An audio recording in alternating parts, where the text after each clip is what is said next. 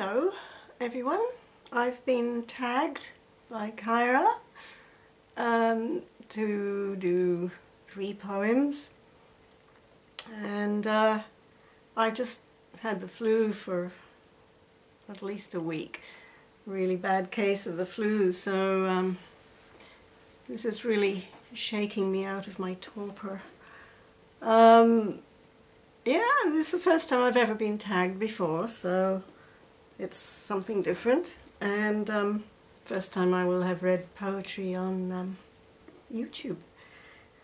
Uh, so um, before I start, I'll just mention that I have decided to tag, um, we've got to tag five people, so I've uh, chosen Bill Flowers in Australia and also in Australia Glenys Pagaian uh, and Alex Chudnovsky and in England Kev the Witch and in Sweden Mrs. Fiendish Bat. Uh, I hope you're feeling better now. Anyway, um, Mrs. Fiendish Bat, she wasn't so well, but I haven't seen a video from her lately, so I hope this will prod her to make one. Uh, so it's very difficult to choose just three poems because um, there's just so many uh, different ones and uh, I didn't know whether to choose a funny one or a serious one or a beautiful one or um, anyway in the end I have decided um, on these three. So uh, the first one isn't so much, well, some people say it's not even a poem. It was actually a, a note.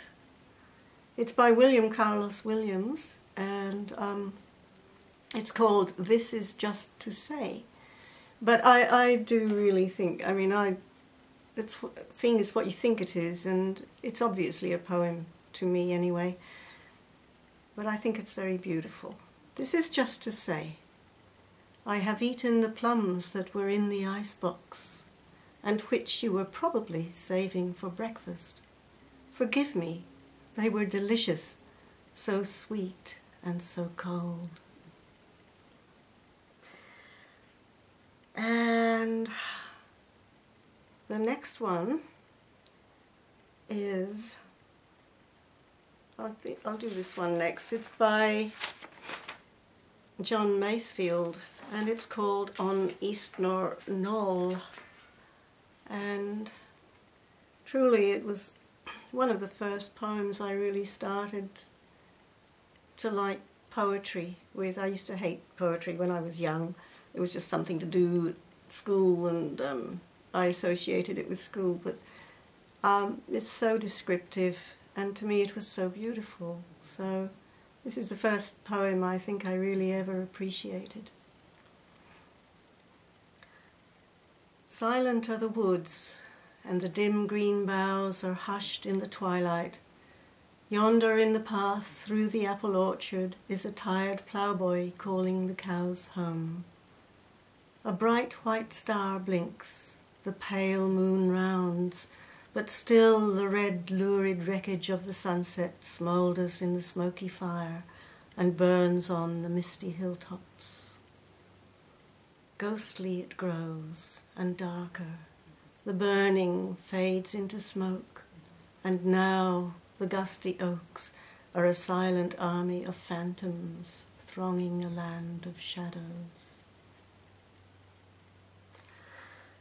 And for my last one, it's one that I, I got this beautiful book called Library of World Poetry, and it's been put together by William Cullen Bryant, um, who is also himself a poet.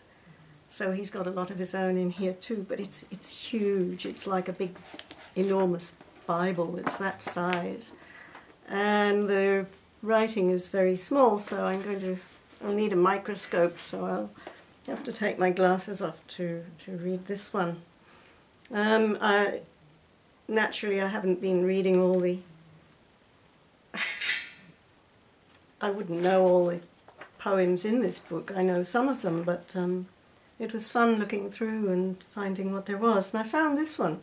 It's called Signs of Rain 40 Reasons for Not Accepting an Invitation of a Friend to Make an Excursion with Him. So, ladies, if you uh, get an invitation from someone that you don't really feel like going out with, you could say this. The hollow winds begin to blow, the clouds look black, the glass is low, the soot falls down, the spaniels sleep and spiders from their cobwebs peep. Last night the sun went pale to bed, the moon in halos hid her head. The boding shepherd heaves a sigh, for see a rainbow spans the sky.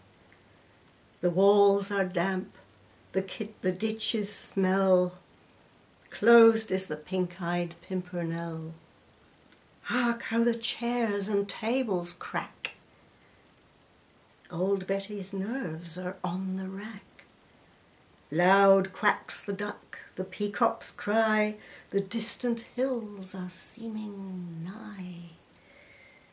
How restless are the snorting swine, the busy flies disturb the kine.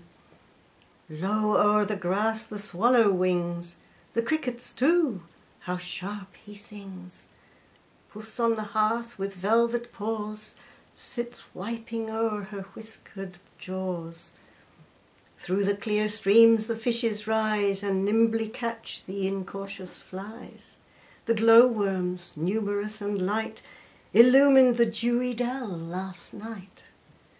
At dusk the squalid toad was seen, hopping and crawling o'er the green. The swirling dust the wind obeys, and in the rapid eddy plays. The frog has changed his yellow vest, and in a russet coat is dressed. Though June, the air is cold and still, the mellow blackbird's voice is shrill. My dog, so altered in his taste, quits mutton bones on grass to feast. And see yon rooks, how odd their flight! they imitate the gliding kite and seem precipitate to fall as if they felt the piercing ball. Twill surely rain, I see with sorrow, our jaunt must be put off tomorrow. Well, there's a lot of superstitious nonsense for you. And um, I think that wraps it up. So uh, I've done my duty and now it's your turn.